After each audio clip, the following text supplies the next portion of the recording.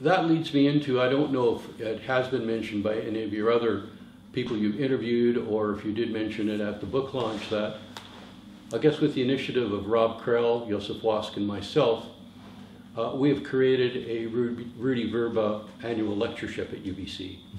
And so uh, on alternate years, the topic is biochemistry, and then the second year it is Holocaust.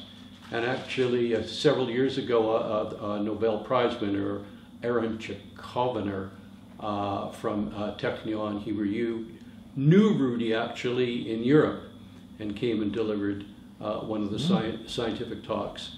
And, uh, then, as I remember, this Jan Grabowski. And Grabowski was interesting because that was the first time I, I was face to face with a Holocaust denier.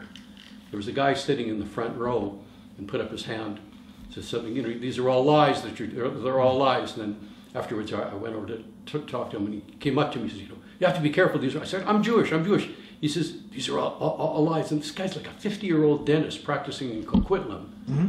And he, it was his, uh, a, a Polish origin. Mm-hmm. And it was his objective to come to that lecture to remind everybody that, that this didn't happen or the, num- the, the, the numbers were wrong. So that, emphasis, that emphasized how important it is to continue Rudi's memory with this type of lectureship.